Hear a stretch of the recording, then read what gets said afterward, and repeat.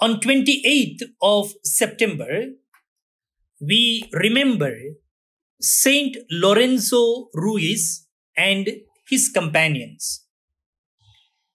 Lawrence is the first Filipino to be canonized a saint. He was born in Manila in the Philippines.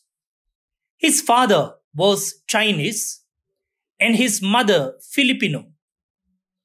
He became associated with the Dominicans and was a member of the Confraternity of the Holy Rosary.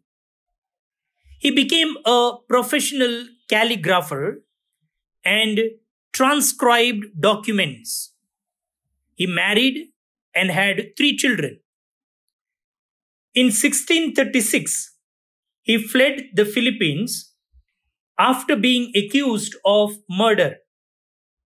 He joined a missionary group headed for Japan, where Catholics were being persecuted. Soon, they were arrested and taken to Nagasaki.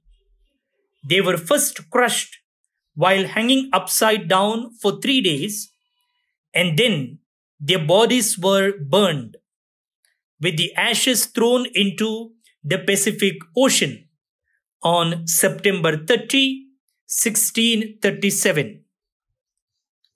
Pope John Paul II canonized these martyrs on October 18, 1987.